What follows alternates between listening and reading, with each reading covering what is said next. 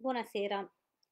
Oggi per commemorare quella che è stata una delle stragi più gravi della guerra nella ex Jugoslavia, vale a dire la strage di Srebrenica che si è verificata 25 anni fa, proprio in questo periodo tra il 6 luglio e il 25 luglio del 1995, ho pensato di trattare in questo nostro ultimo appuntamento letterario prima della pausa estiva un romanzo molto significativo per questo tema, vale a dire Venuto al mondo, della scrittrice Margaret Mazzantini, che è ambientato proprio nella Sarajevo assediata della guerra nella ex Jugoslavia.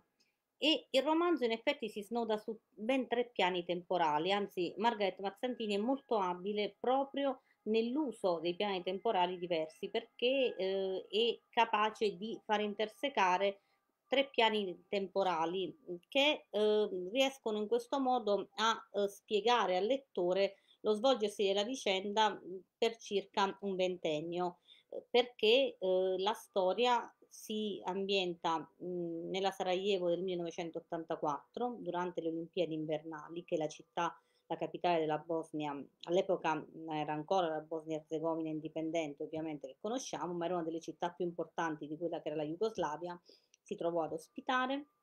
Poi eh, c'è un salto avanti nel tempo, ovviamente eh, nel 1992, nel pieno della guerra, quando scoppia la guerra nell'ex Jugoslavia e si arriva circa ai giorni nostri nel 2009 e tutto viene raccontato attraverso gli occhi della protagonista che è Gemma. Allora, ehm, la storia inizia nel 2009. Gemma, infatti, che è appunto la protagonista, eh, viene contattata da un suo caro amico, un poeta eh, bosniaco Goico, per recarsi a Sarajevo dove ci sarà una mostra, una mostra eh, in cui saranno esposte delle fotografie che commemoreranno i fatti tragici della guerra nell'ex Jugoslavia e nella quale verranno esposte anche le foto scattate da Diego, il grande amore della vita di Gemma, eh, quello che è stato il suo secondo marito, nonché padre di suo figlio Pietro. E a questo punto Gemma coglie la palla al balzo per fare una sorta di viaggio di formazione anche con il figlio Pietro nei luoghi dove lui è nato, perché Pietro è stato concepito ed è nato proprio a Sarajevo e eh, purtroppo il padre mh, è morto eh, in Croazia, vedremo poi in che circostanze e Diego non ha mai conosciuto perché è morto quando lui era ancora in fasce. Quindi Gemma prende questa occasione proprio per eh, portare il figlio negli ultimi luoghi che il padre aveva visto e in quelli che poi sono i luoghi della sua nascita e decide di tornare dopo tanti anni a Sarajevo perché lei in realtà mancava da Sarajevo da circa 16 anni, dal 92 quando era scoppiato il conflitto. E naturalmente tornando in questa città che per lei era stato teatro di questa storia d'amore così importante con, con Diego, e mh, Gemma ci racconta tutta la sua vicenda e eh, torna ancora più indietro nel tempo perché ci spiega quando oh, per la prima volta mise piede a Sarajevo. Era il 1984, erano le Olimpiadi invernali che furono ospita- ospitate da Sarajevo, la città quindi era naturalmente eh, addobbata a festa per questo evento fondamentale e lei si era recata mm, a Sarajevo per motivi di studio perché stava concludendo la sua tesi di laurea e mh, mm, questa era incentrata proprio su un noto un poeta sarajevita. E quindi aveva chiesto a Goico, eh, aveva preso contatti con questo Goico che era anche lui un poeta bosniaco e questi le aveva fatto da guida, le aveva fatto vedere Sarajevo, le aveva spiegato delle cose riguardo al poeta su cui lei stava conducendo questa tesi di laurea e avevano fatto amicizia e poi Goico aveva eh, svolto una funzione molto importante perché una sera, proprio la sera prima che Gemma mh, partisse per l'Italia, che ritornasse a casa, le aveva presentato Diego, questo fotografo, che Gemma chiama il fotografo delle pozzanghere, perché Diego um, è un fotografo molto sui generis, fotografa anche paesaggi, pozzanghere, è un uomo di grande indipendenza, uno spirito libero e quindi quando Gemma e Diego si incontrano scatta il classico colpo di fulmine. Diciamo che Goico, il poeta guida bosniaco, ha funto un po' da Galeotto, no? da Cupido della situazione. E però c'è un problema perché Gemma eh, in Italia ha un fidanzato, sta per sposarsi, si deve sposare qualche mese dopo e quindi ehm, deve decidere se ehm, accettare questa nuova storia d'amore oppure se sposarsi col suo fidanzato storico. E Gemma mh, decide di tornare a casa e si sposa con quello che era il suo fidanzato storico, però rendendosi conto ben presto di aver commesso un grave errore perché lei è ancora innamorata di Diego, non riesce a dimenticarlo.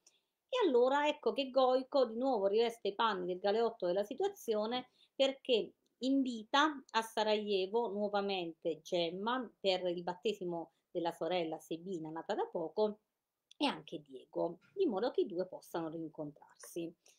L'incontro avviene e Gemma questa volta capisce che ha commesso un grave errore a sposarsi nonostante l'amore per Diego per cui da quel momento in poi i due non si lasciano più, Gemma divorzia dal marito e decide di stare insieme a Diego e poi i due si sposano anche. La vita matrimoniale è una vita felice, soddisfacente, si amano moltissimo, però eh, come spesso accade c'è un problema.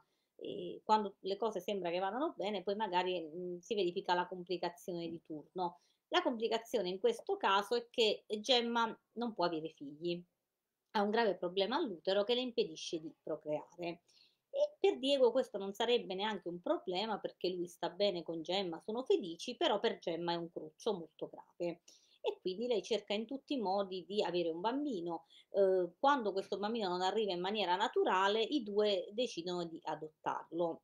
Però anche qui la situazione non è facile la burocrazia è eh, molto difficile da superare, ci sono tanti cavilli burocratici, ehm, tante visite da, so- a cui sottoporsi, tante scartoffie da riempire, insomma la situazione non è semplice. A questo punto Gemma, anche molto stanca di sopportare tutte le pressioni psicologiche del caso, decide di eludere la legge italiana e di recarsi con il marito in Ucraina per ricorrere a una madre surrogata e riuscire ad avere il tanto agognato bambino.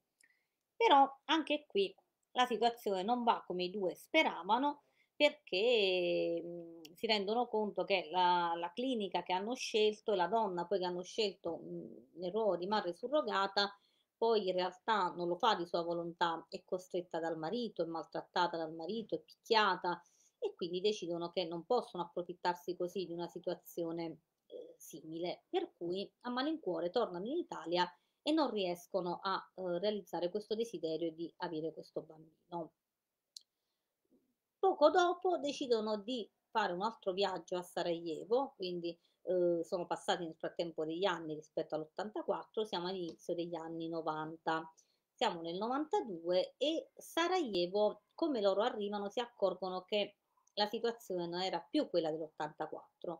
Avevano infatti lasciato una città cosmopolita, mh, dove eh, caratterizzata proprio dalla multicultura, eh, dal dialogo tra eh, anche culture diverse, religioni diverse, dove comunque ehm, i serbi ortodossi, i croati cattolici e eh, i bosniaci musulmani vivevano eh, in pace e adesso invece trovano una città in uno stato di grande agitazione, dove i nazionalismi stanno sempre più prevalendo perché la guerra ormai è alle porte. E eh, poi lo vedremo più nel dettaglio che cosa accadrà perché uno dei temi fondamentali è proprio quello della guerra nella ex Jugoslavia Comunque Diego e Gemma capiscono subito di trovarsi in una situazione di grande difficoltà, in una eh, Sarajevo che era molto diversa rispetto a quella dell'84. Eh, riprendono sempre i contatti con l'amico Goico che nuovamente gli fa da cicerone e soprattutto Goico che è un po' sempre il deus ex machina della situazione gli presenta una ragazza, una certa Asca, una musicista una ragazza molto sui generis, molto ribelle, che ama suonare eh, il sassofono, si veste da punk, ha atteggiamenti diciamo molto anticonformisti. E eh, Goico eh, suggerisce a Gemma e a Diego di ehm, chiedere l'aiuto di Aska come madre surrogata, cioè Aska potrebbe Uhm, mettere al mondo un bambino di cui loro poi potrebbero occuparsi, ovviamente dietro il pagamento di una somma di denaro che serve alla ragazza per iniziare anche una vita nuova come musicista. E per cui dopo un tentennamento iniziale, dato il grande desiderio di diventare genitori che sia Diego soprattutto Gemma hanno, accettano questa proposta di Goico e chiedono in effetti l'aiuto di, di Aska. Eh, Aska, poi lo vedremo, un nome particolare perché eh, la Mazzantini ci ritorna spesso, il nome di una pecora di una favola di un noto poeta sarajevita, comunque poi su questo torneremo nell'analisi eh, dei personaggi. E eh, naturalmente che cosa succede? Succede che eh, questa situazione però è anche molto complicata perché ehm, Aska eh, deve fare da madre surrogata e però eh, Gemma si convince che il modo più facile perché Aska possa mettere al mondo un bambino è che in effetti eh, lei abbia un rapporto sessuale con Diego è la maniera più semplice e più veloce, anche perché la situazione a Sarajevo sta degenerando e loro sanno che non potranno rimanervi molto a lungo. Quindi una sera, eh, dopo che sono stati fatti tutti i calcoli del periodo di fertilità di Aska, delle probabilità che lei ha di rimanere incinta, e eh, Gemma lascia da soli Diego e Aska sperando che concepiscano l'agognato bambino, l'agognato figlio. Però i piani non vanno come loro avevano progettato perché che succede? Che mentre Diego e Aska insomma stanno tentando anche in maniera molto goffa un approccio sessuale e Diego non riesce a portare eh, a compimento la situazione perché insomma non vuole tradire Gemma e quindi non riesce ad arrivare fino in fondo. Poi eh, si allontana momentaneamente dalla, dalla casa dove avevano, eh, si erano rifugiati, lui Aska, per eh, consumare questo rapporto sessuale e accade un evento molto eh, imprevisto e anche molto, molto serio che vedremo tra un po'. Comunque fatto sta che non accade quello che Gemma si era aspettata perché poi Diego ritorna da lei e le dice che non ce l'ha fatta a tradirla e non se n'è fatto nulla, purtroppo anche questa volta dovranno rinunciare all'agognato bambino. La situazione però, come ho detto, a Sarajevo è sempre più seria per cui ehm, sono costretti a andarsene in fretta e furia perché ormai eh, i cecchini stanno circondando la città, l'esercito eh, serbo-bosniaco è sempre più minaccioso e ehm, la città è sempre più sotto assedio, per cui Gemma e eh, Diego sono costretti a tornare in Italia. Tornano in Italia, ma Diego è molto inquieto, si vede che c'è qualcosa che non va, che lui non vuole confessare a Gemma e eh, praticamente a un certo punto un giorno Diego lascia Gemma con un biglietto, le dice che è tornato a Sarajevo, che doveva tornare. A quel punto Gemma, eh, che è presa da mille dubbi, non sa cosa pensare perché crede in un primo momento che lui sia tornato da Aska. Forse è innamorato di Aska, non è più innamorato di lei, per questo è tornato, insomma ha tanti dubbi e a quel punto anche lei in maniera quasi clandestina riesce a ritornare in una Sarajevo che ormai è in piena guerra, eh, una Sarajevo dove mancano tutti i servizi essenziali, la luce, l'elettricità, il gas, l'acqua, e mm, dove i cecchini sparano ogni piè sospinto, eh, dove interi quartieri sono assediati e però purtroppo Gemma per amore del marito corre questo rischio, lo va a cercare e lo trova e naturalmente eh, chiedendogli il motivo di, eh, del fatto che lui sia ritornato a Sarajevo e sospettando che l'abbia fatto per Aska. Il marito le spiega la situazione, anzi la, l'accompagna proprio da Aska e eh, Gemma vede che la ragazza è incinta. E a quel punto eh, lei crede, ma poi vedremo che gli eventi smentiranno questa versione, poi vedremo cosa è accaduto però Gemma crede che il marito le abbia mentito in passato e che quindi lui in realtà abbia avuto un rapporto sessuale con Aska e da quel rapporto lei sia rimasta incinta. La ragazza poi eh, con il loro aiuto riesce a portare avanti la gravidanza con molte difficoltà in una città bombardata, sotto assedio, quindi con tutte le difficoltà del caso.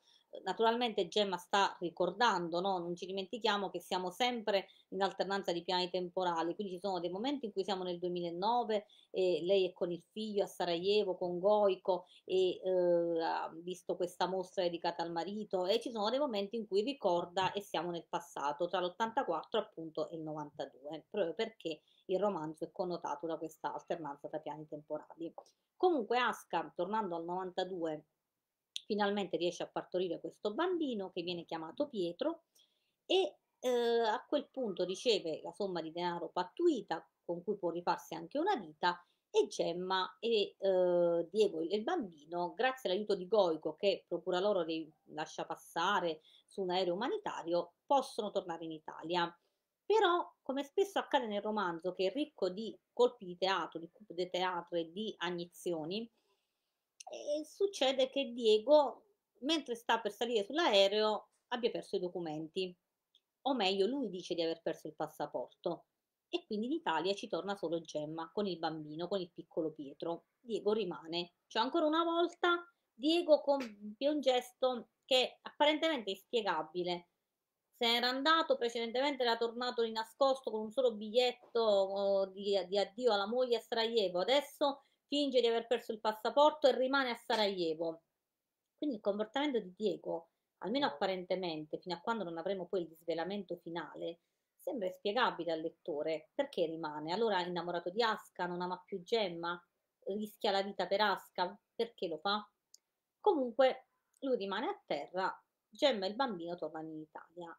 A quel punto Gemma cerca più volte di contattarlo, lui ogni tanto la chiama, le dice che sta bene, che non poteva tornare in Italia, che doveva fotografare tutti quegli orrori, la violenza della guerra, che non sarebbe stato in pace con se stesso se fosse tornato.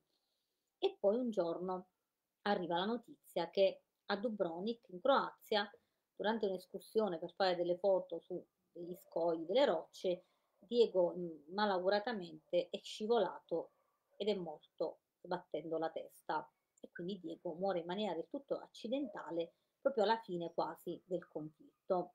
E a questo punto il racconto di, eh, di Gemma si ferma perché tutto quello che Gemma sa e Gemma eh, ritorna indietro nel tempo con un flashback e ci racconta il suo punto di vista, quello che sa lei. Con la morte di Diego si ferma il suo punto di vista perché lei non sa più nulla, non sa perché Diego sia tornato indietro, è piena di dubbi. In effetti ha fatto questo viaggio a Sarajevo nel 2009 solo per capire qualcosa, per intendere perché Diego sia tornato indietro, perché amava Aska, perché non amava più lei, qual è il motivo. E, però lei non lo sa ancora.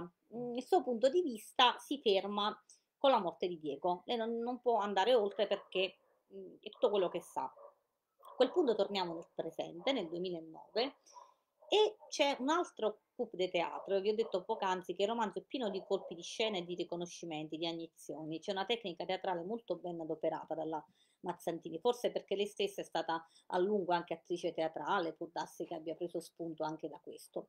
Comunque, fatto sta che eh, c'è un altro grande colpo di scena perché Goico, poco prima che Pietro e eh, Gemma ripartano per l'Italia, dopo che hanno assistito a questa mostra di fotografie, tra cui ci sono anche quelle di Diego, le fa una rivelazione importante. Le dice, le comunica di essersi sposato e eh, soprattutto di essersi sposato con Aska. Quindi Aska, la ragazza, la madre di Pietro, che Gemma credeva ormai chissà dove, magari morta nella guerra oppure in qualche paese in giro per il mondo a suonare il suo sax. Insomma, in realtà eh, è sposata con, eh, con Goico, ha messo su, su famiglia con lui e eh, a questo punto Gemma ha un momento di grande scoramento, anche di timore, teme che Goico e Aska le abbiano teso una sorta di trappola, che l'abbiano fatta andare a Sarajevo soltanto eh, per far conoscere Pietro alla madre naturale, ha paura che glielo vogliano portare via, che lo vogliano allontanare, insomma un momento di grande panico.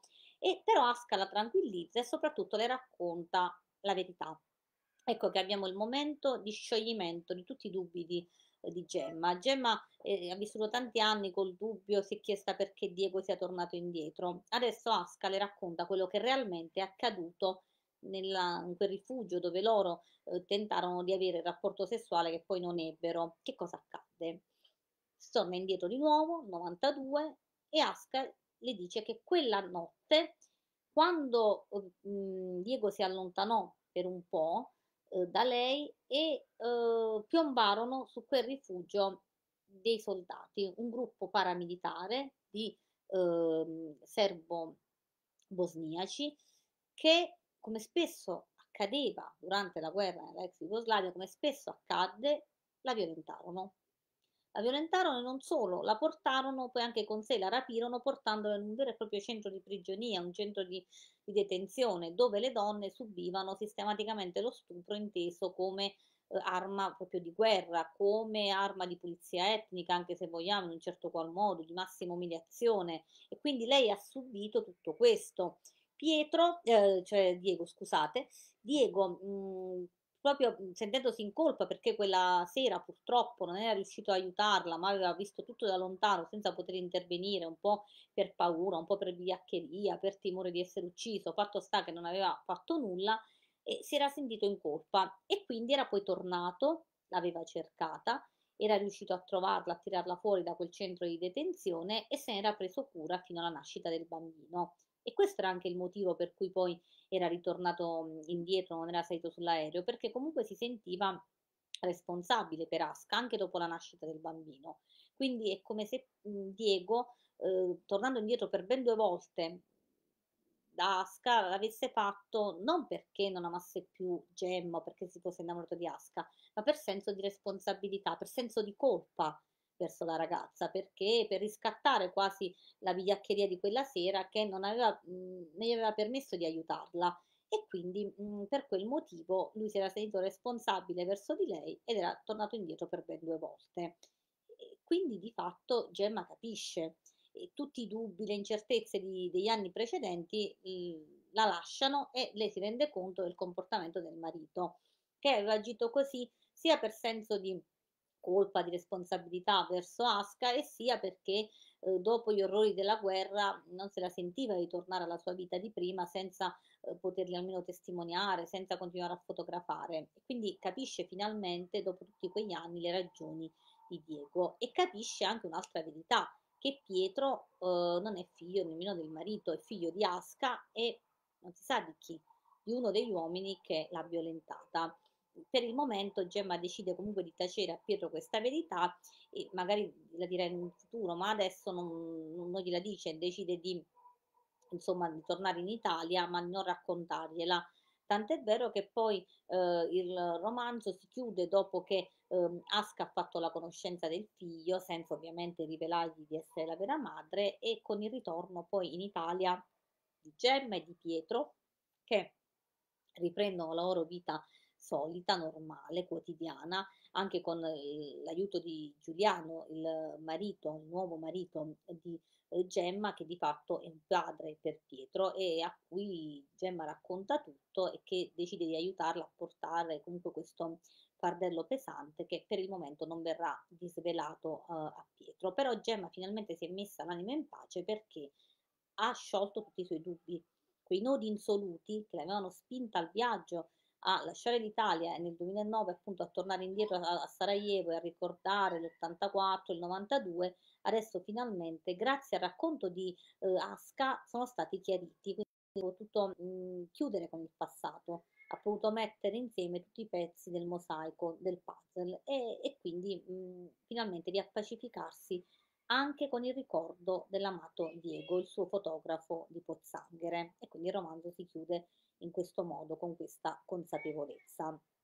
Allora, naturalmente i personaggi sono molto ben delineati dalla Mazzantini, anche in maniera molto eh, complessa. La protagonista è Gemma.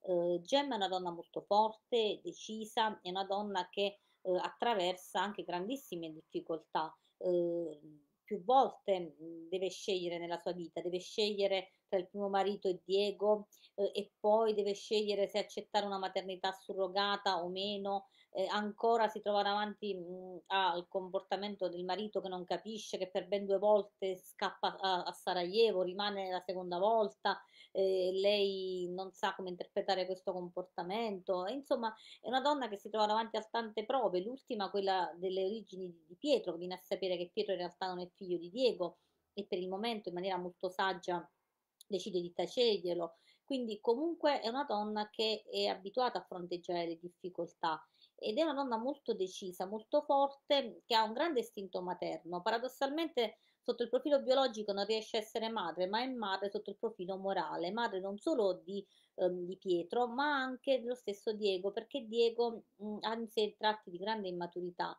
e quindi molto spesso Gemma per lui è anche una sorta di figura eh, materna, svolgerà anche questo ruolo. E eh, Diego è un uomo molto idealista, mm, lei lo chiama in maniera affettuosa il fotografo delle pozzanghere, proprio perché ehm, fa il suo lavoro con passione e lo fa eh, con cuore, con, mettendoci anima nel suo lavoro, ehm, è un uomo anche che non pensa alle conseguenze delle sue azioni e si getta a capofitto senza però pensare a quello che potrebbe costargli e eh, lo fa quando decide di rimanere a Sarajevo, pagherà un prezzo altissimo per questo, ama molto viaggiare, tant'è vero che quando eh, raggiunge Gemma, mh, dopo che Goico ha organizzato il, la riunione, l'incontro nuovamente per il battesimo di Sebina, stava dall'altra parte del mondo, in Sud America, quindi comunque mh, è un uomo che ama il rischio, eh, però poi questo rischio lo porta alle estreme conseguenze.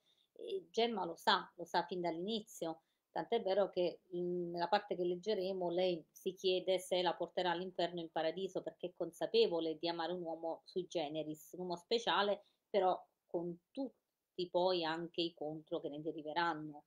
Ma è anche vero, anche altrettanto vero, che se Diego non fosse stato così particolare, probabilmente Gemma non l'avrebbe amato e quindi proprio questo suo seguire il cuore, seguire i sentimenti in maniera anche un po' scriteriata, mh, hanno fatto in modo che Gemma lo ami così tanto. Però c'è un fondo di immaturità anche in lui, tant'è vero che mh, nel romanzo viene spesso rappresentato con la testa in grembo uh, a Gemma, come se Gemma fosse anche la figura materna, la madre, e, mh, non solo di Pietro ma anche di lui stesso, proprio perché c'è un fondo di immaturità uh, in, in Diego, questo sicuramente. Poi abbiamo eh, Goico, Goico è il poeta bosniaco che è un po' il lancillotto della situazione, quello che li fa incontrare, che li fa rincontrare. E, ehm, Goico è un uomo molto forte, deciso, un, allo stesso tempo un animo sensibile, un poeta, ammira molto quella Sarajevo eh, multiculturale, multietnica, dove lui è cresciuto, che ha imparato a conoscere, ad amare, per cui quando scoppia la guerra rimane basito, non, non riesce a rendersene subito conto di come possa essere accaduto, come la situazione possa essere degenerata. Eppure eh, poi reagisce, tant'è vero che la guerra in parte lo cambia, lo abbrutisce in un primo momento perché la morte della sorella, della madre, lo spinge anche all'odio, ad uccidere i nemici, a giocare a pallone con la testa dei nemici addirittura e questa cosa poi lo sconvolge, dopo lui rimarrà gravemente eh, turbato, gravemente segnato dagli orrori della guerra e faticherà molto a riacquistare la sua umanità, però ci riuscirà, ecco, riuscirà a vincere questi fantasmi interiori e quest'odio che rischiava di divorarlo proprio grazie alla poesia. La poesia sarà un po' il suo strumento, riuscirà a salvarlo da, da quello che invece sarebbe stato senza dubbio eh, un, un, degrado dovuto a, all'odio che purtroppo la guerra aveva eh, sviluppato in lui, le situazioni che si era trovato a vivere avevano sviluppato. E poi eh, abbiamo Asca. Asca è la madre di Pietro, no? è la ragazza che avrebbe dovuto dare un figlio alla nostra coppia e ehm, Asca si chiama, e la Mazzandini lo mette spesso in evidenza nel romanzo, come una pecora di una favola, una favola di un mm, poeta eh, bosniaco. Eh, questa pecora Asca si allontana dal gregge senza ascoltare la madre, incurante dei richiami della madre, mm, perché le piace ballare, quindi si allontana. Il lupo la vede, le si avvicina, però lei ballando si salva perché eh, il lupo è curioso di vederla ballare, qui non la uccide, non la mangia ancora, la vuole vedere, lei balla, balla, arriva fino al villaggio, al villaggio il lupo viene ucciso dagli uomini.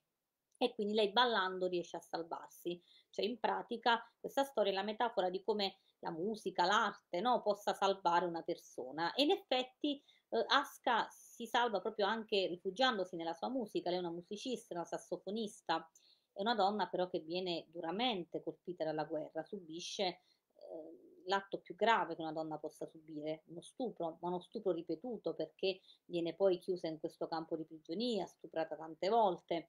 Quindi quello che le dà la forza di resistere probabilmente è proprio eh, la sua musica, il desiderio di tornare a suonare, e diciamo che l'arte la salva sostanzialmente. E poi Aska compie anche un percorso molto importante perché si sposa con Goiko, no? quella che sembrerebbe all'inizio la ragazza più ribelle, destinata a girare il mondo, a fare la musicista, la, la, l'anticonformista, poi invece paradossalmente eh, arriva a una situazione di regolarità, ha una famiglia, si regolarizza, probabilmente perché gli orrori della guerra l'hanno portata proprio al desiderio di crearsi una sua famiglia, di cercare un rifugio, un porto sicuro. E la stessa cosa vale anche per Goico. Goico che pure c'era apparso all'inizio come il poeta molto irregolare, molto reticente anche a formarsi una sua famiglia, poi invece con Asca trova un equilibrio. Quindi entrambi i personaggi più disordinati, no? diciamo così, più anticonformisti, forse proprio perché sono messi davanti all'orrore della guerra e eh, attraversano le difficoltà che la guerra purtroppo li costringe a eh, provare, mh, diventano figure più conformiste, più regolari e eh, si mettono insieme, si uniscono e costruiscono un nucleo familiare, forse proprio per cercare quel porto sicuro, quel rifugio sicuro che la guerra invece aveva messo in discussione e aveva anche distrutto nel caso di Goico, perché Goico nel conflitto perde l'amata madre e la sorella minore e quindi trovano rifugio l'uno nell'altro sostanzialmente. E poi c'è Pietro, Pietro il figlio um, che di Gemma, di Gemma e di Diego, in realtà poi si scoprirà essere figlio di Asca e si sa di chi, uno dei soldati che l'ha violentata. Ed è un ragazzo che pure passa attraverso un processo di formazione perché all'inizio appare il tipico adolescente sempre in guerra con la madre, sempre annoiato, mm, che mh, mm, intraprende questo viaggio un po' scocciato eh, alla ricerca delle origini di un padre che lui in effetti non conosce perché per lui il padre è Giuliano, il marito della madre, quindi questo Diego non sa chi sia, non lo vuole neanche sapere. Però poi dopo quando viene a contatto con una realtà nuova, diversa, anche più complessa della sua, matura. Quindi il Pietro che inizia il viaggio, che parte da Roma verso Sarajevo, non è il Pietro che torna, è un Pietro più maturo, più consapevole, mm, forse perché eh, ha affrontato questo viaggio e soprattutto si è confrontato con un ambiente diverso dal suo, dove eh, c'è anche un contesto culturale differente che naturalmente l'ha arricchito. E poi c'è eh, Giuliano. Giuliano è il terzo marito di eh, di Gemma. Giuliano è un po' il suo porto sicuro, è un ufficiale dei carabinieri che l'aiuta a superare il grande momento di difficoltà quando le arriva la notizia della morte di Diego. Si prende cura di lei, del bambino, cresce Pietro come figlio suo e per Pietro è il padre per antonomasia ed è una roccia su cui si poggia Gemma. Senza di lui probabilmente Gemma non si sarebbe ripresa, è appunto il suo porto sicuro, la sua quercia che le dà sicurezza e sostegno e l'aiuta a superare i momenti difficili. Infatti a lui che alla fine del romanzo Gemma racconterà tutta la storia di Pietro ed è colui che deciderà come procedere. E eh, per quanto concerne i temi del romanzo, come avrete naturalmente intuito, il tema fondamentale è la critica dura, forte che la Mazzantini muove alla guerra, la guerra nell'ex Jugoslavia nella fattispecie, perché e la guerra al centro della vicenda, ma naturalmente in senso più lato. La guerra nell'ex Jugoslavia mh, è la prova mh, di quanto sia importante il rispetto della libertà, del multiculturalismo, mh, perché fino a che ehm, le tre etnie fondamentali dell'ex Jugoslavia, cioè eh, i croati di religione cattolica, i serbi di religione ortodossa, cristiano ortodossa e eh, i bosniaci musulmani, detti bosniachi, hanno potuto eh, convivere pacificamente, rispettandosi reciprocamente, non è accaduto nulla. Quando però mh, al multiculturalismo, alla tolleranza, al dialogo interreligioso eh, sono subentrati poi eh, valori negativi come ehm, la prevaricazione, il fanatismo religioso, il nazionalismo che in Europa ha sempre fatto tanti danni, ha recato tanti danni all'Europa a partire dalla prima guerra mondiale, alla seconda, fino ad arrivare a quella che è stato il più grave conflitto nel cuore dell'Europa dopo la seconda guerra mondiale, vale a dire la guerra nell'ex Jugoslavia, la guerra che ha insanguinato l'ex Jugoslavia dal 92 al 94. E allora la Mazzantini ci mostra quelli che sono i danni del nazionalismo quando questo viene lasciato proliferare e crescere. perché nel caso specifico della eh, ex Jugoslavia, mh, diciamo che mh, i primi, le prime avvisaglie di questo conflitto si erano avute con la morte del maresciallo Tito. Fino al 1980 il maresciallo Tito era stato un po' il collante che aveva tenuto insieme le tre etnie diverse che eh, caratterizzavano la vita del paese. Con la morte di Tito poi queste tre etnie avevano incominciato a essere eh, prese da molti contrasti e poi eh, i nazionalismi, gli indipendentismi si erano sviluppati soprattutto agli inizi degli anni 90, in particolar modo tra il 91 e il 92 si erano resi indipendenti, avevano proclamato la loro indipendenza la Slovenia, la Croazia e poi la Bosnia e Herzegovina. In Bosnia e Herzegovina gli effetti della guerra furono più devastanti che altrove perché eh, qui i contrasti tra le tre etnie furono maggiori e soprattutto Sarajevo fu la città emblema di questi contrasti perché Sarajevo subì un pesantissimo, un durissimo assedio dal 5 aprile del 92 al 29 febbraio del 96. Quindi quasi per quattro anni la città venne pesantemente assediata dalle forze eh, serbo-bosniache, una, sor- una, sorta di esercito irregolare a maggioranza serba, e eh, che eh, pose di fatto l'assedio alla città, perché la città si trovava circondata da, monda- da montagne e in pratica venne assediata e ehm, furono piazzati cecchini davvero ad ogni, ad ogni angolo mh, di queste montagne che dall'alto sparavano sui quartieri della città e si è calcolato che alla fine del conflitto i morti nella sola Sarajevo furono circa 12.000, con migliaia di feriti.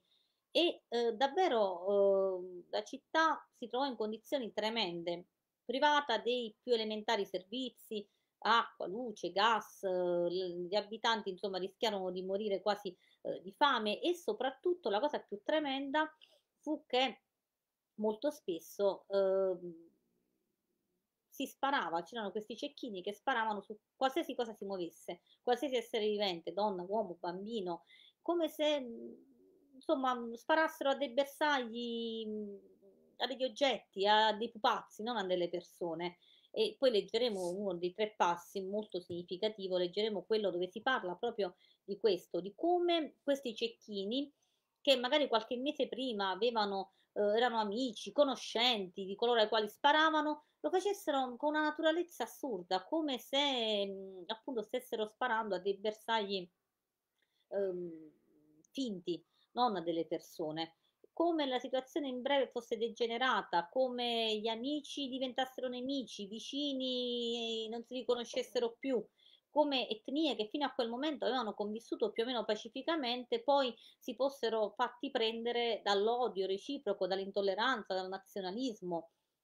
E tutto questo, tutto questo quando poi contestualmente si consumava anche un'altra grandissima strage, un altro massacro, che è proprio quello che commemoriamo in questi giorni, vale a dire eh, il massacro della città di Srebrenica. A Srebrenica tra il 6 e il 25 luglio del 95, quindi 25 anni fa, più o meno in questi giorni, furono massacrati circa 8.000 bosniachi. I bosniachi erano i bosniaci eh, musulmani e quindi fu messa in atto una vera e propria pulizia etnica perché scientemente furono separati eh, dalle donne e dai bambini gli uomini dai praticamente 12 ai 77 anni e furono portati nei boschi eh, antistanti alla città e uccisi, uccisi e poi seppelliti in fosse comuni, allo scopo proprio di attuare una pulizia etnica. E questo fu svolto, fu fatto dall'esercito eh, serbo eh, guidato, un esercito appunto come vi ho detto prima irregolare, paramilitare, guidato dal generale Ladic, che poi è stato condannato all'ergastolo per crimini di guerra, naturalmente, per questo tremendo massacro di Srebrenica. Però tutto questo è accaduto nell'indifferenza dell'Europa, perché di fatto l'Europa nella guerra dell'ex Jugoslavia, che poi si è conclusa nel eh, 95 con gli accordi di Dayton, però di fatto è rimasta inerme, non ha fatto abbastanza. Cioè l'Europa ha avuto nel suo cuore, dopo 50 anni dei fatti tremendi della seconda guerra mondiale, dell'olocausto degli ebrei, per citarne uno, una situazione molto simile, analoga, e però ha fatto ben poco. Lo stesso massacro di Srebrenica è avvenuto in un contesto in cui l'Europa è rimasta molto inerme. Tant'è vero che poi nella città c'erano anche 600 caschi blu dell'ONU, tre contingenti eh, olandesi che sono stati accusati anche di mh, attendismo, di aver fatto ben poco, di non aver protetto la popolazione locale, anzi di aver quasi ehm, acconsentito a che avvenisse questa separazione tra uomini e donne, certo senza sapere quello che il generale Ladic avrebbe fatto degli uomini, perché eh, Ladic aveva fatto credere che questa separazione sarebbe servita solo per fare dei semplici interrogatori. Però di fatto né i 600 caschi blu né le tre compagnie olandesi fecero nulla per eh, aiutare la popolazione civile e quindi eh, è una grave macchia questa sull'ONU, su queste compagnie olandesi e poi anche eh, sull'Europa stessa che non fu in grado di proteggere i diritti umani in seno a se stessa e quindi eh, assistette in maniera inerme a uno sterminio pianificato, a una pulizia etnica che ci ricorda tanto l'olocausto degli ebrei, per citare l'evento cronologicamente più vicino a quello che fu Srebrenica ma purtroppo fu un massacro tremendo, una, una ferita aperta ancora nel cuore dell'Europa che noi non possiamo dimenticare dopo 25 anni proprio per evitare che si ripeta, perché la memoria storica è importante proprio per evitare che un fatto simile possa accadere, dato che se si è verificato nel 95, non parliamo di 3000 anni fa, di 300 anni fa, ma di 25 anni fa, in una nazione civilizzata, qual era la ex Jugoslavia, in una nazione eh, che era nel cuore dell'Europa, che aveva una tradizione millenaria, eh, dove comunque le varie etnie avevano più o meno convissuto pacificamente per anni, potrebbe eh, verificarsi dappertutto.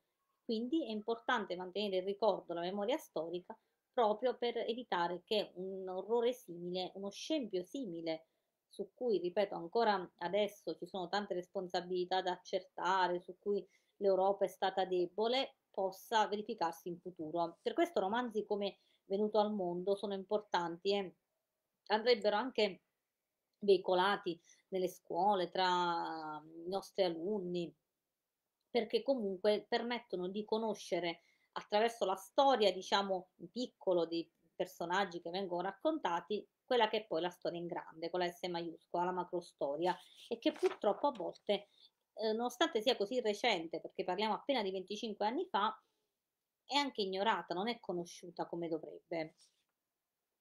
E mh, per quanto riguarda poi i temi, un altro tema eh, su cui eh, anche la Mazzandini si sofferma, oltre a questo della guerra, ovviamente della libertà, del multiculturalismo, che è il principale, è quello delle adozioni. In maniera velata la Mazzantini fa capire come probabilmente in Italia l'iter burocratico per le adozioni sia un po' troppo farraginoso perché eh, Pietro e Gemma hanno bisogno di ricorrere prima a una madre surrogata in Ucraina, fanno il tentativo in Ucraina, poi ehm, ricorrono ad Asca in Bosnia, quindi se eh, l'iter per le adozioni fosse stato meno complicato, meno farraginoso, probabilmente non l'avrebbero fatto, come se la Mazzantini in maniera velata volesse anche fare un po' una critica a come è l'iter burocratico delle adozioni in Italia e a come andrebbe forse svestito per rendere le pratiche un po' più semplici, più facili. Questo è un altro tema che diciamo sotto traccia, neanche più tanto sotto traccia, si trova nel romanzo. Romanzo che possiamo definire senza dubbio un romanzo storico, storia recente, 25 anni fa, però è sempre storia e anzi l'insegnamento che ne possiamo ricavare è un insegnamento importante, quindi senza dubbio venuto al mondo è anche un romanzo storico. È un romanzo storico ma è anche un romanzo di formazione, perché tutti i personaggi, se ci fate caso, passano attraverso un processo di formazione. Abbiamo detto di Pietro che va a fare il viaggio con la madre e quando torna non è più quello di quando è partito e la formazione il processo di formazione è anche quello di Asca che passa attraverso tutte le difficoltà e tutto il calvario delle violenze subite e anche quello di Gemma, la formazione anche quella di, di Diego. E, quindi sì, si può considerare anche un vero e proprio romanzo di formazione proprio perché i personaggi non sono statici ma sono dinamici e hanno una loro evoluzione all'interno del romanzo. Per quanto riguarda invece la lingua e lo stile, allora diciamo che eh, la Mazzantini ha un linguaggio molto accurato e molto precisa, dettagliata, anche nelle descrizioni che fa, le descrizioni sia della psicologia dei personaggi e sia eh, dei luoghi. Poi lei ricorre molto spesso sia al discorso indiretto libero che permette ai personaggi di eh, raccontare il loro punto di vista eh, al lettore quasi come in una sorta di flusso di coscienza e sia eh, attraverso il discorso diretto, anche questi molto mh, accurati. E eh, per quanto riguarda la tecnica narrativa, mh, lei qui molto abilmente, come vi ho detto, ha intersecato tre piani temporali diversi e mh, mediante soprattutto il ricorso al flashback ha permesso al, al lettore poi eh, di ricostruire tutta la vicenda attraverso una focalizzazione interna che è quella di Gemma, del personaggio principale. L'ultimo eh, dato prima di iniziare la lettura dei tre passi scelti per oggi è che anche di questo romanzo, come di molti altri, ne è stata tratta una trasposizione cinematografica ed è quella del 2012 per la regia del marito di Margaret Mazzantini, bravissimo attore Sergio Castellitto, che molto spesso ha messo in scena i libri della moglie. L'aveva già fatto anche con eh, Non ti muovere, un altro romanzo importantissimo della Mazzantini.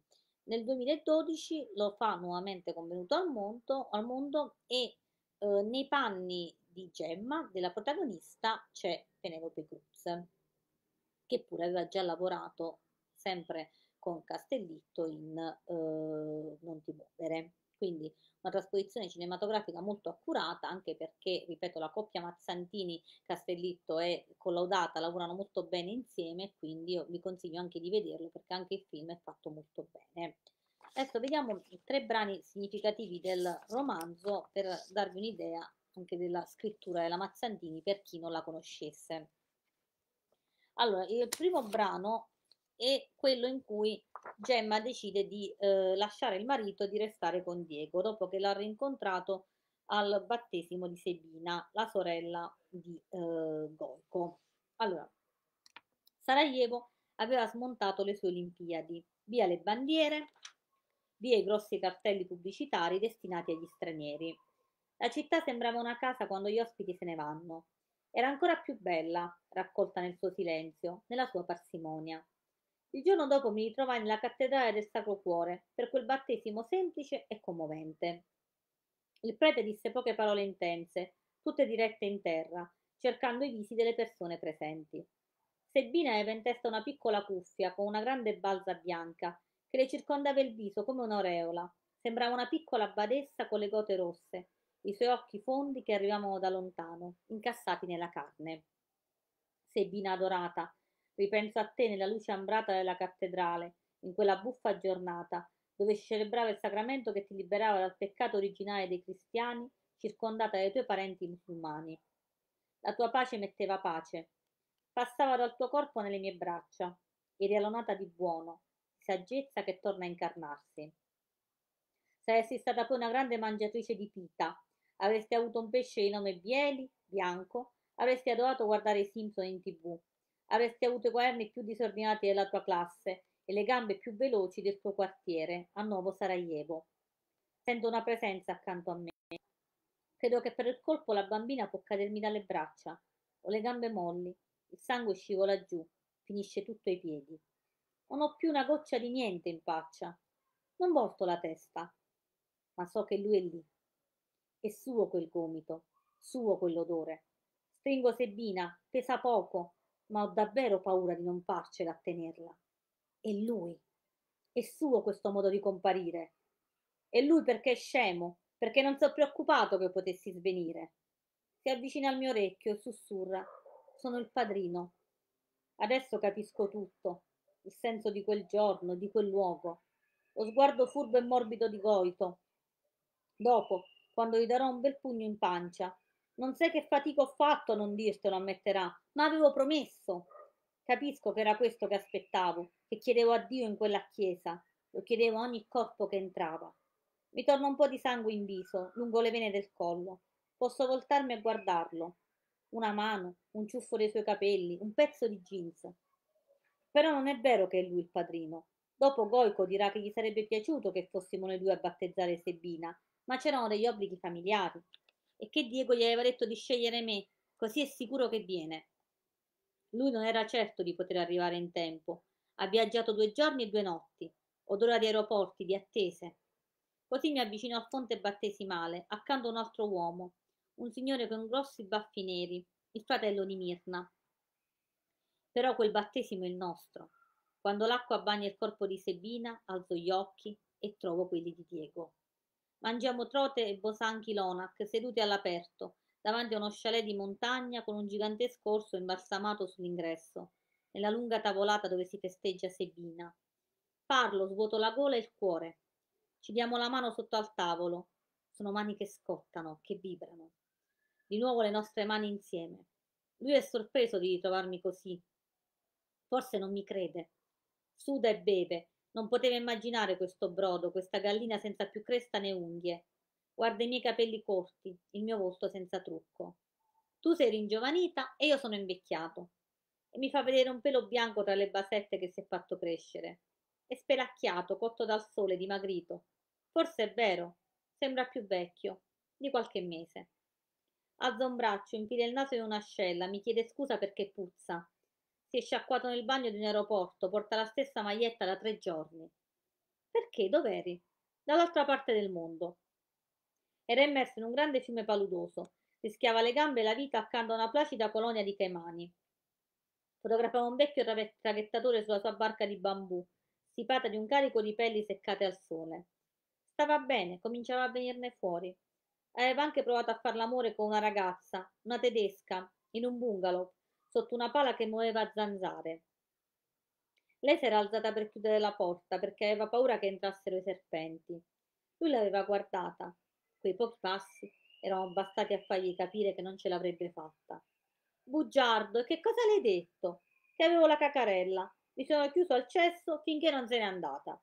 Ride, credeva di star bene, dice, si alzava all'alba, si beccava il sole che usciva dall'altopiano, già rosso, come uno di quei lecca-lecca pieni di coloranti. Caricava le macchine, camminava nella foresta verso i piccoli villaggi dei Serengheros. E alla fine cominciava a fruirgli nella testa il pensiero di fermarsi lì, come un eremita, come un monaco. Mi guarda, fa quel sorrisetto, scuote i capelli. Però non sono un monaco, piccina. Quando gli era arrivato il telegramma di Goico, aveva buttato le sue cose nello zaino e si era messo a correre sotto una pioggia torrenziale, con il dito alzato in attesa di un camion, di una macchina che passasse di lì. Alla fine aveva raccolto una jeep della polizia civile e aveva viaggiato in maniche corte e fradicie attraverso la foresta, seduto in mezzo a due cristi grossi e scuri, che più che due angeli custodi sembravano due diavoli. Se torna a Sarajevo, si ripeteva, vuol dire che anche lei ha nostalgia di noi. Si avvicina con la testa come un toro, mi fa bu, mi casca addosso. Dammi i tuoi occhi, maledetta, non li scollare da qui, stavolta ti rapisco. La sofferenza l'ha reso più uomo, più ardito. È un bullo cresciuto. Mi tira giù dalla sedia, mi porta a ballare tra gli altri in mezzo al prato. Mi stringe come uno sposo, ha le braccia più forti. Mi prende per i capelli come fossi una pannocchia, mi spinge sulla bocca, respira nella mia, mi cerca minaccioso come un caimano a pelo d'acqua. Guardami. Lo sto guardando. Ti amo. Sa ballare come un padre eterno, tra le sue braccia sono un straccetto che si lascia portare. Ha le spalle dritte di un ballerino di flamenco, il bacino sinuoso e ha le gambe matte che si rompono come quelle di Michael Jackson. Dove mi porterà questo pazzo? In quale inferno? In quale paradiso? Intanto non voglio scollarmi dalle sue labbra. Sarà una festa, piccina, ogni giorno una festa. Ti darò tutto, giuro. Quindi questo è il momento in cui i due decidono di stare insieme, in cui Gemma ha scelto di lasciare il marito. Adesso invece vediamo un dialogo tra eh, Gemma e Aska, quando le due cercano di conoscersi meglio e quando ormai è chiaro che ehm, Gemma ha deciso che Aska sarà la madre surrogata del loro bambino. Vediamo che cosa si dicono.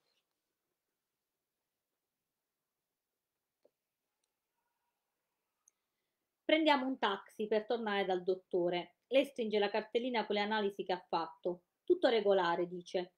Non ho lights. Le sfiora una gamba, le calze bucate da cui spuntano bolle di carne bianchissima. Sono inquieta, Asca. Perché? Chi può dirmi che non vorrà tenersi il bambino? Che quando lo sentirà muoversi dirà che non può più staccarsene? Mi rassicura, si toglie gli occhiali, mi fa vedere i suoi occhi, struccati stamattina. Mi dice che mi ha dato la sua parola, ma adesso non puoi saperlo. Dice che lo sa, che non vuole figli, che non saprebbe proprio che farsene. L'unica cosa che voglio è suonare. Cosa dirai ai tuoi amici? Ci pensa un po'. Gli ultimi mesi me ne andrò, farò così. Dove andrai? C'è un posto che mi piace sulla costa, andrò lì e io verrò con te. Annuisce sotto i suoi occhiali. E già mi sento rincuorata. La macchina procede e io immagino una casetta bianca, fuori stagione, con il suo odorino di umido. Prendo la mano di Asca perché sto immaginando di camminare con lei, mano nella mano, sulla spiaggia. Lei con la sua pancia e io che le preparo il tè, l'accudisco. Le metto uno dei miei scialli sulle spalle. Sarà bello solo noi due, il mare d'inverno e una finestra piena di gocce fuori e di vapore dentro. Siamo fermi davanti alla porta di quel piccolo ambulatorio. Suonerò sempre per il vostro bambino. Così magari sarà un grande musicista. Di colpo si rattrista, le tiro una ciocca di quei capelli rossi e forti. Non gli far sentire Nirvana, ti supplico. E cosa vuoi che gli faccia sentire? Mozart. Scordatelo. Chet Baker? Lui sì. Il medico non c'era, la porta era sbarrata. Aska salì le scale, suonò gli altri campanelli, non era rimasta che una donna sulla sedia a rotelle. Tornò da noi, le braccia stanche sui fianchi. Sono tutti andati via. Via dove? Non lo sa nessuno, non c'è più nessuno. Sentimmo delle voci e dopo un po' vedemmo due uomini in tuta mimetica affacciarsi da uno dei balconi. Stavano lì tranquilli, come impiegati in pausa. Fumavano, ci guardavano, sembravano ridere di noi. Ebbi paura, per la prima volta. Restammo un po' sotto quel portone, inebetiti, come galline rimaste fuori dal gallinaio, al tramonto. Il taxi se n'era andato, ci allontanammo a piedi. Asca camminava sull'altro lato della strada, pareva una che tornava una scampagnata. Canticchiava, cercava di raggiungere con una mano le fronde fiorite dei pruni. Diego mi dava la mano, senza peso, assente. Gli si era graffiato un obiettivo poco prima, gli era caduto sulle scale di quel palazzo. Era quello per lui il dolore del giorno. Era stufo di quei pellegrinaggi, si lasciava portare da me, per inerzia, per amore. Ma era stato ma era come stare dietro una moglie malata di un'ossessione solitaria. Mi fermai a guardare il cielo, quel sole che si ritraeva scacciato dalla notte. Non c'era nemmeno una stella. Tornammo al buio, brancolando fino alle luci della città. Aska abitava in uno dei primi quartieri. L'accompagnammo fino al portone. Ci chiese se volevamo salire da lei. Non aveva molto da offrirci. Non importa, salimmo. Adesso eravamo noi gli orfani e lei nostra madre. Non era una vera e propria casa, sembrava una specie di residence. Erano gli alloggi degli atleti olimpionici. Dentro c'era un tavolo di legno chiaro incollato al pavimento e una panca angolare ricoperta dallo stesso marrone della moquette. Una fila di bicchieri sul muro dietro una grata, sembrava l'interno di un camper. Feci qualche passo per andare in bagno. Mi affacciai in camera da letto, anche quella piccola e scura. Sul muro c'era un manifesto di Jenis Joplin, con la sua faccia da vecchia barbona, i capelli crespi, lo spiraglio degli occhi, quello della bocca, il vento del delirio. Sotto una scritta. Sul palco faccio l'amore con 20.000 persone. Poi la sera torno a casa sola. Restammo a parlare un po'. Asca prese i bicchieri dalla grata, ci versò un po' di latte e un cucchiaio di cioccolato in polvere e mischiò. Si portò un dito sulla guancia per dirci che era una buona bevanda, che ci avrebbe consolati. Si era tolto i suoi scarponi viola, camminava scalza. Aveva lunghi piedi bianchi con lunghe dita sottili. Mi tolsi una scarpa anch'io, avvicinai un piede al suo, ridemmo, perché i miei erano molto più piccoli e più larghi. Le dissi che avrebbe potuto giocare a pallacanestro. Scosse la testa rossa e di nuovo disse che voleva soltanto suonare. È uno strano strumento per una donna. È il mio. Perché? Si prende tutto il fiato, tutta l'anima. Incollò le labbra al bocchino e si mise a suonare Diane, chiuse gli occhi e dondolò. Diego la guardava con la bocca leggermente aperta, come si guarda qualcuno che ci sta a cuore e che può sbagliare. Stavo bene, Avevo dato anch'io qualche boccata e adesso sentivo un po' di brividi tiepidi dentro, fili di paglia che si muovevano dolcemente. Era andata così, Ci saremmo lasciati la piccola amica tra le vite alle spalle e quei 5.000 marchi buttati valevano questa serata. Ormai ero abituata alle sconfitte, ai buchi nell'acqua, sempre gli stessi, nello stesso stagno. Era una sera dolce, vibrante, un commiato di cui ormai conoscevo il gusto. Asca smise di suonare, scrollò la tromba, cadde un po' di saliva, fece un altro giro di latte e di cioccolato. Si tolse la spilla da balle dall'orecchio e cominciò a giocarci.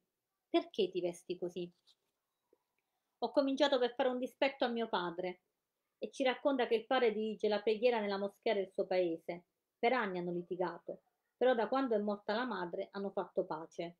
Anche mia madre è morta. Diego mi prende la mano e me la bacia. A cosa pensi, amore mio? A niente, a mia madre. Già, penso a lei, una donnetta che ha avuto così poco dalla vita. Asca mi chiede, era sterile anche lei? Rido, come non ho mai riso, sgusciando i denti e tutta la mia infelicità. Io sono nata. Asca si diverte. Ah già, che stupida. È il fumo che fa effetto. Ma forse penso ha ragione lei. Non sono nata mai, sono l'ombra dei miei desideri. E di nuovo penso a quella favola, a quella pecora ballerina che balla per non morire. Qualcuno dalle colline spara. Affacciamo la testa da una piccola finestra doppia, che Asca tiene su con la mano perché il gancio è rotto. L'aria è fredda. Non riusciamo a capire esattamente da che parte arrivino gli spari. Asca non sembra preoccupata. Succede quasi tutte le notti da un po' di tempo. Sono idioti che si divertono, ragazzi. Andiamo in cucina io e lei per scaldare un po' d'acqua. Me lo dice mentre cerca di tenere viva la fiamma azzurra del gas. Se vuoi possiamo farlo naturalmente.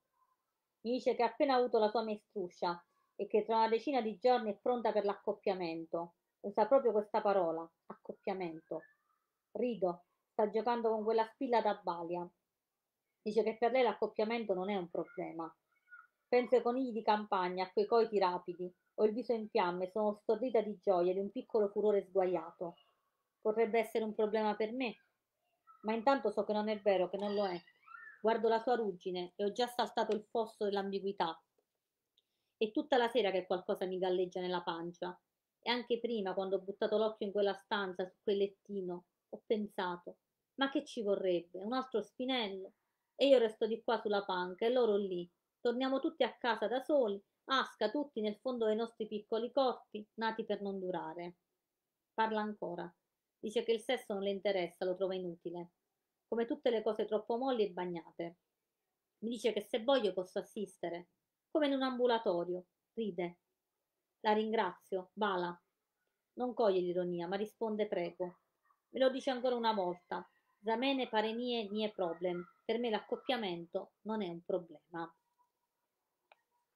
Adesso vediamo l'ultimo eh, brano scelto che è molto significativo, molto commovente perché è eh, la descrizione di come un cecchino possa sparare a un bambino ritenendolo un semplice bersaglio, di come ormai il processo di disumanizzazione sia proprio completo. Vediamo che cosa scrive la Mazzantini prendendo spunto da quello che in realtà è avvenuto, da interviste proprio realizzate a questi cecchini che si appostavano intorno alla città e che mostravano di aver perso ogni umanità, mostravano davvero di essere eh, diventati disumani. Allora, vediamo la descrizione. Dovrei dire a Pietro cosa pensavo mentre veniva al mondo? Agli sniper, alle loro tragiche vite, a quell'intervista filmata che ho visto, il ragazzo ha gli occhi azzurri e sorride. Dice come sparare ai conigli. È lo stesso. Io vedo il bambino blu. Gioca con uno slittino, lo trascina in salita, tirandolo per la corda. È una bella fatica ogni volta. Perché scendere è un soffio, salire invece. Però ne vale la pena. È una bella giornata di luce, c'è la neve fresca. Il bianco che ha coperto il nero. Il cecchino ha bevuto grappa di prugne, ha fumato, ha buttato in terra la cicca che non si è ancora spenta. Poi ha ripreso la sua manga, il suo fucile. Sua madre un giorno lo ha messo al mondo, lo ha battezzato, il cecchino ha una croce al collo. Crede nella divina Trinità, quella della grande Serbia.